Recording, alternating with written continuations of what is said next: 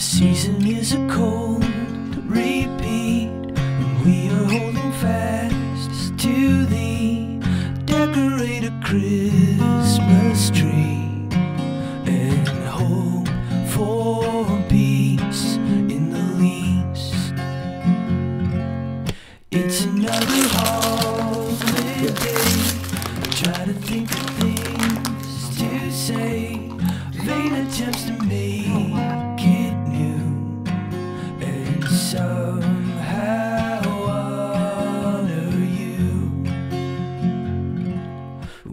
searching through.